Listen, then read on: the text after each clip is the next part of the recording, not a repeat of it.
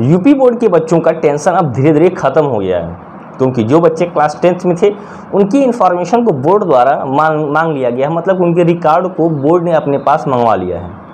अब बात है रिज़ल्ट कब तक आएगा? तो मैं आपको एक बात बता दे रहा हूँ कि सीबीएसई बोर्ड के बाद यूपी बोर्ड ने सारा रिकॉर्ड लेना शुरू किया, लेकिन आप लोगों ने देखा कि सीबीएसई बोर्ड का रिकॉर्ड अभी धीरे धीरे जा रहा है। यूपी बोर्ड ने पहले ही अपने सारे स्टूडेंट्स के रिकॉर्ड को अपने पास मंगवा लिया है। इस बात से तो तय है कि यूपी बोर्ड अन्य बोर्ड से पहले अपना रिज़ल्ट डिक्लेयर कर देगा।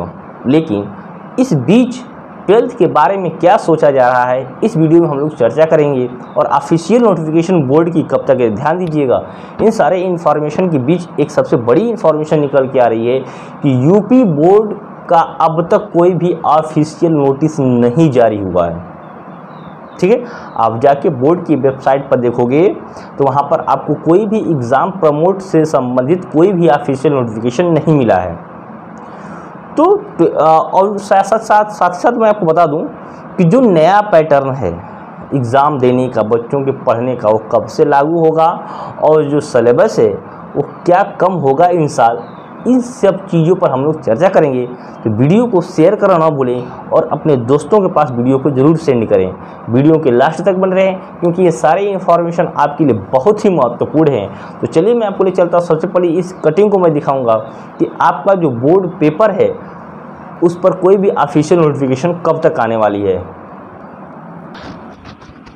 यहाँ आपको दिखाई दे रहा होगा कि लिखा हुआ है, बोर्ड ने स्कूलों को छात्रों के नौवीं के नंबर ऑनलाइन पोर्टल पर अपलोड करने के लिए 24 मई तक का समय दिया है। पहले समय कम था, अब धीरे धीरे समय क्या कर दिया गया है? बढ़ा दिया गया है। कब तक कर दिया गया है? चौबीस मई तक कर दिया गया है।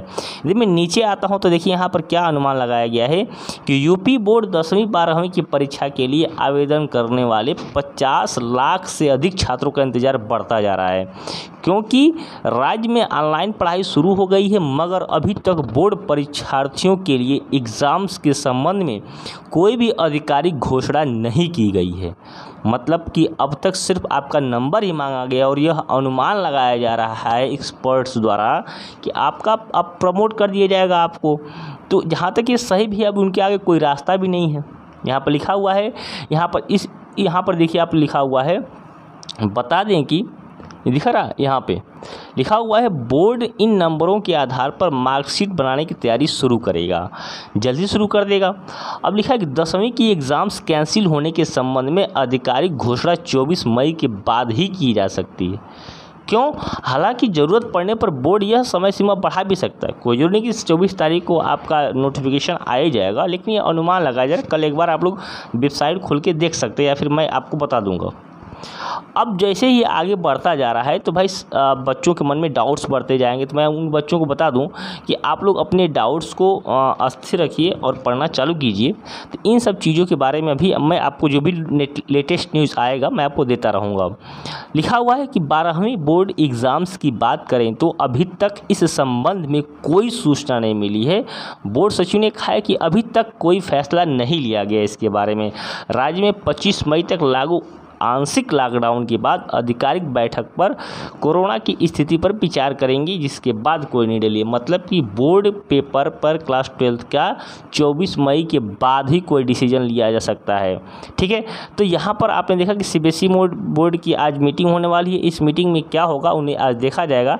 लेकिन इस मीटिंग के बाद ये तय हो जाएगा कि अब यूपी बोर्ड किन किन चीज़ों पर चर्चा करने वाला है अपनी मीटिंग में। तो आपको समझ में आया कि आधिकारिक घोषणा चौबीस मई के बाद बाद ही होने वाली है। साथ ही साथ मैं आपको बता दूँ कि जो सिलेबस को लेकर आपके मन में डाउट है, उसमें उस बीच अभी कोई भी ऐसा डिसीज़न नहीं हुआ है कि आपके सिलेबस को कम कर दिया जाएगा। हाँ कई बच्चों के मन में ये डाउट है कि, सर, क्या सिलेबस 2020 वाला ही हम लोग पढ़ेंगे सिलेबस कि उससे अधिक सिलेबस हो जाएगा या फिर पहले वाला सिलेबस दो, जो दो हज़ार उन्नीस में पढ़े थे वाला सिलेबस आ जाएगा। तो मैं आपको बता दूँ कि आप बिना सिलेबस की चिंता किए ही आप लोग पूरा डिटेल में पढ़ें। जो ही ऑफिशियल नोटिफिकेशन आएगा कि सिलेबस कम हुआ है या फिर बढ़ा दिया गया है तो मैं आपको बता दूँगा।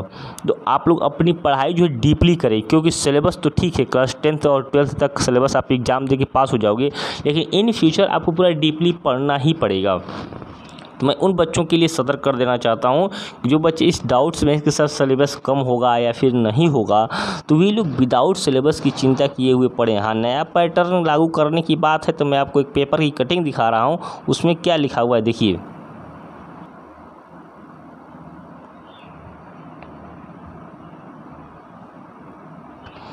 यदि आप यहाँ ध्यान से देखें तो लिखा हुआ है हाई स्कूल और इंटर की परीक्षा का बदलेगा पैटर्न। तीन घंटे के पेपर दो भागों में होगा। तो चूँकि ये पहले न्यूज़ आई थी तो आप लोगों को पता होगा कि अब तीन घंटे के पेपर दो भागों में होगा। लेकिन इसी बीच कोरोना का माहौल आ गया तो अब क्या सिचुएशन होगा उसके अनुसार देखा जाएगा समय के अनुसार। और नीचे आते हैं तो लिखा हुआ है सत्र दो हज़ार से लागू होगा नया पैटर्न। यहाँ पर लिखा हुआ है इस, इस वाले पूरे पढ़े हम लोग टाइटल को तो लिखा हुआ है। परीक्षा का नया पैटर्न 2021-22 से कक्षा नौ से लागू किया जाएगा। नए पैटर्न पर हाई स्कूल बोर्ड परीक्षा वर्ष 2023 में, जबकि इंटरमीडिएट की परीक्षा 2025 में होगी। बोर्ड परीक्षा के लिए वार्षिक सेमेस्टर मॉडल पर भी विचार किया जाएगा। चूँकि एक जो कोरोना माहौल है, इसमें क्या नया पैटर्न लागू होगा, इस बारे में देखा जाएगा। लेकिन सबसे पहले अभी क्या क्वेश्चन है कि आपके एग्ज़ाम का। सिलेबस की बात करें तो यहाँ पर आप ऐसा कहीं नहीं लिखा हुआ है कि अभी सिलेबस को बढ़ाया जाएगा या फिर घटाया जाएगा। तो जो आप पढ़ रहे हैं उसको पढ़ते रहें। जो भी सिलेबस के बारे में नया वीडियो नोटिफिकेशन आता है, मैं आपको बता दूँगा। अभी ऐसा कोई डाउट मन में मत रखिए। आप लोग खूब अच्छे से शुरू से सिलेबस पढ़ते रहिए। अपना जो भी 2020 में सिलेबस था, उसके अनुसार। जब नया सिलेबस होगा तो शुरू से फिर पढ़ लिया जाएगा। तो आप लोग बेनिफिकर होकर अपने पढ़ते रहें और पढ़ाई करते रहें। वीडियो जो भी मैं बताता, बनाता हूँ, उसको शेयर करना भूलें आप लोग। क्योंकि यह शेयर ही मैक्सिमम बच्चों को एक जोड़ करके एक फैमिली को बड़ा कर सकता है। मिलेंगे नेक्स्ट वीडियो में, तब तक के लिए बाय बाय टेक केयर।